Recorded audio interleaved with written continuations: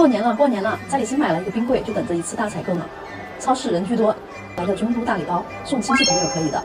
哇，黄桃罐头有货了，来一罐。保鲜膜、锡纸备一点。莲子、核桃、百合这种做糖水的必备材料。干贝煲汤的灵魂。黄酒来一箱。花生要做点过年的零食，糯米做糍粑很好吃。杂粮要备一点。看我家里没盐了，蒜和姜多买一些。胡萝卜烧个牛肉。蔬菜丁、焗饭什么的超好用。鲍鱼好新鲜啊，回去做个鲍鱼红烧肉。虾滑买一点。扇贝和青口来一盒。冬天的冷冻虾比鲜虾还好吃。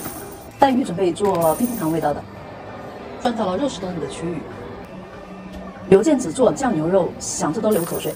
牛排、牛板腱这些是必囤的。肥牛片涮个火锅。五花肉做法很多。猪脚还不错，做个香辣味的。排骨回去分装一下。鸡买两只，差不多够吃了。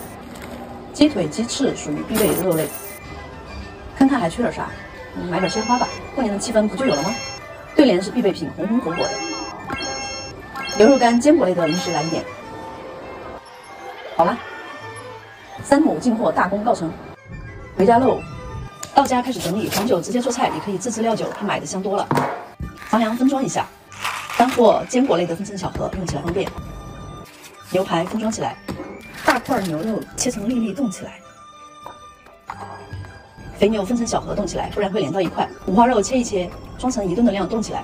排骨切好，大小匀一下，免得做菜出来大大小小不好看。鲍鱼买的比较多，清理干净，划个花刀，下次解冻直接做着吃。